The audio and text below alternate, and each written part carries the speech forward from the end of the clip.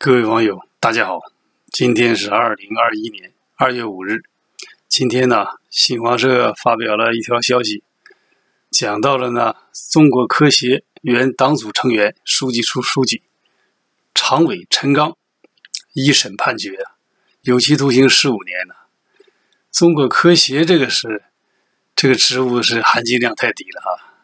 实际上判他主要是因为什么？他当过啊北京市的副市长啊。这才是关键的问题，而且他这个案件涉及到人很多啊。我今天看到网络消息，涉及到了刘琦啊，涉及到安邦，还涉及到了其他的啊，这个中共的一些高官呐，也就是这位二零一九年的第一虎啊，部级干部。这个案件是一个大案，涉及了很多的人呐。那么，北京这个市委书记刘琦。还有这个吕希文，这是副书记啊，常务副司长李世祥等等，这说明什么呢？说明这官场腐败啊是个普遍现象。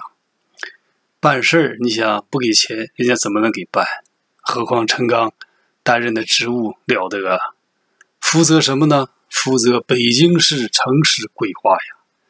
你想这个官多大呀？给大家看看网上受审的时候的截图。看看，这是人生的下半场啊！上半场很风光啊，下半场就变成这样了。由这个江西省、江苏省啊、南京市中级人民法院一审判判决。为什么放到南京去？那就是说，中共就是这样嘛，由政法委把这案件呢，跟着根据政治需要哈，放到一个地方去，便于操控嘛。因为党管司法实际上就是。党的领导人说了算，判多少年，怎么判，什么时候判，什么罪名，那不都是政法委书记说了算吗？对不对？这都是例行公事啊。放到这个南京，因为认为南京的法院啊，便于这个执行上级的领导的这个旨意啊。那么为什么判的这么轻啊？你看他这个受贿的金额已经过亿了，你想一点二亿啊。按照这个数字，如果就杀掉掉脑袋，像赖小民那样，也是可以的。但是为什么他不动他呢？现在这个问题，我看没有人讲得很清楚啊。这篇文章讲到，说是经审查发明、审查审理查明，零三年到一八年，注意这个时间呢？这个时间是，那是主要是胡温时代了，对吧？所以中共的反腐败到了习近平这个所谓新时代。是个内斗的工具啊，借反腐败打击政敌啊，大部分支持向共青团派哈。这个零三到一八这时间也不短，说是被告人陈刚利用担任北京市规划委员会主任，这是最重要的位置啊。这个位置比其实比市委书记、市长某种意义上权力还大呀。你像规划这个设计、规划这个批准就文书，不批准你盖不了这高楼大厦。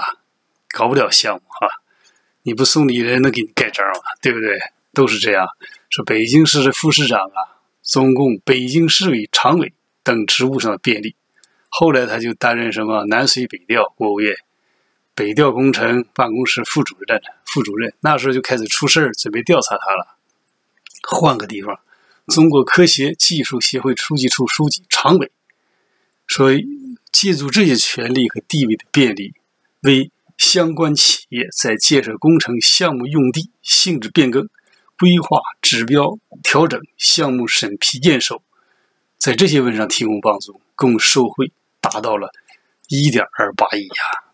这多么可怕的数字！你想，一个官员呢，他和这个赖小民不一样，赖小民他是属于国企大老板，那是另一个层次的，他这个是官员直接受贿，情节极其严重啊，问题极其敏感呢。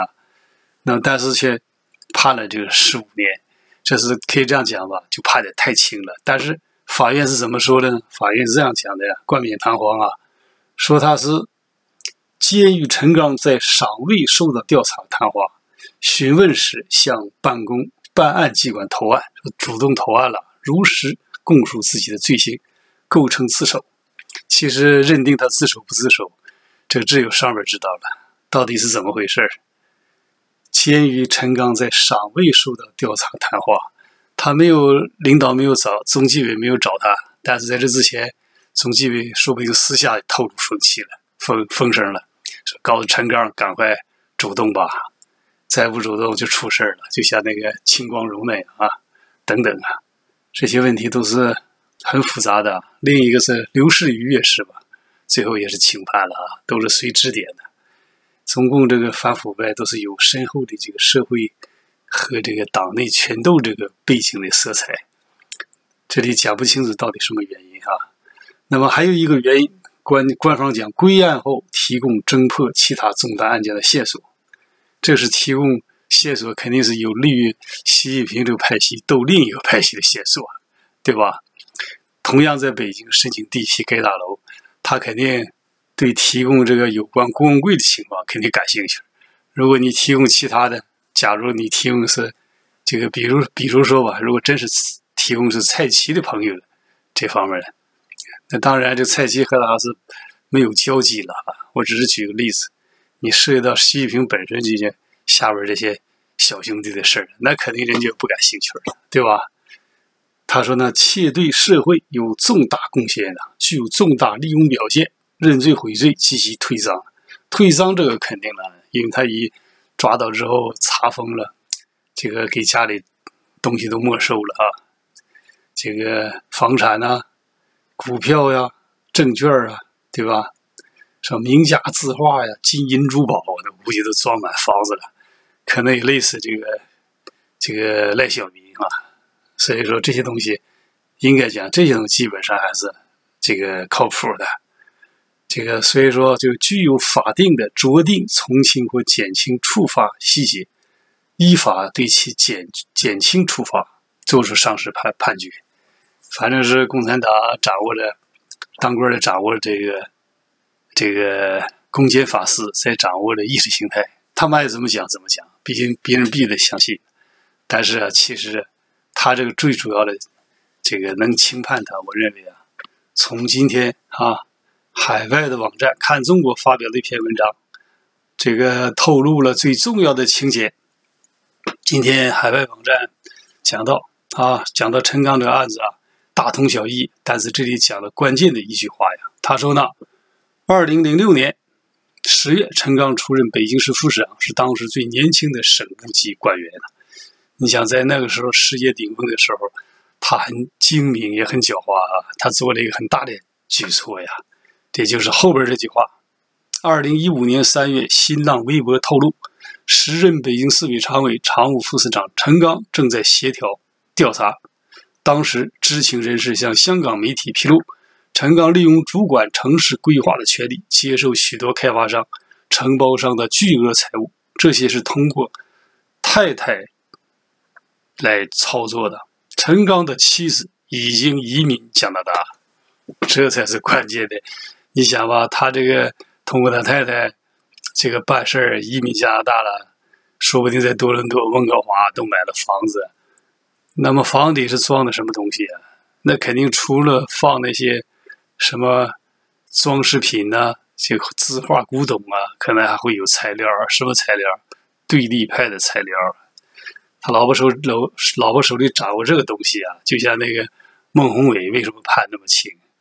不杀头，孟宏伟的太太 Mary 吧，这个那个女人不就生给孟宏伟生了一个龙凤胎嘛，一男一女。刚开始在里昂要求政治庇护，接受记者采访啊，搞的声音很大，保护自己哈。这个背对着媒体接受采访，这全世界第一人了，啊，终于跟中共谈判成功了啊，判个十来年这个中共也对他也不追讨了。也不可能缺席什么审判了。总共缺审判都是欺负那些那些弱弱者。你像这个这个孟宏伟，肯定手里是一大把材料，也是放在这个里昂保护自己啊。他为什么抓起之前发一个照片，带一把刀啊？小小刀照片，就等于告诉他太太，我出事了。下一步你就要拿起这个利剑反击中共啊！利剑是什么？一堆材料呗，对吧？腐败都有。你想，如果不腐败，谁当官啊？当官不都是为了赚钱吗？赚钱就存在，有的人傻呗，都存存到国内，这个整天忙活，有的精存到外边吧，同时在是机密文件了什么东西，准备大批，家里旦出事拿出来，你整我，我整你，你弄我爆料，哈哈，是爆料革命嘛，哈哈，就不是爆料革命，爆料保命，你讲，结果呢？你看，结果才判了十五年，当官的心里苦啊，众叛不敢呢。你要真正给他杀掉一点五亿，你要杀以后看看，保证他。太太在多伦多是温哥华就出现了，再不得爱德华王子岛也说不定。加拿大大了是吧？所以这个中共这种反腐败完全是内斗的这个工具哈。这个用这个这个利器呀，习近平团队是要指向那些对立派啊。这里当然也包括这个郭文贵也是在这个期间哈，二零零三一八期间盖盘古大观。你盖那么大大楼，申请那么大的地皮，难免和当官打交道哈。所有的这个中国的民营企业家就都有难处啊。你办事，你说你不给人好处，人让你办，能给你盖这章吗？你盖了章，给了钱，完将来就容易出事。这还是政治体制决定的，也就是什么呢？官员的权力太大呀。你看他又是副市长，又当过这规划委主任，又是这个市里的。这个党组成员，你想，而且审批这个规划规划委审批一些这个地皮啊、项目招商咨询等等，那不都一个人一句话吗？即使不一句话，也是奉上级之令、六七之命。除六七之外，可能还有更大的官呢，对不对？这个更大的官，胡锦涛这个另起话签个字儿，你不给办呢？不给办，你不打人脸吗？等死是吧？你要给办了吗？给办了就有出事儿，所以这都连着呢。本人认为啊，他这个所谓判十五年重罪轻罚，原因就在于此。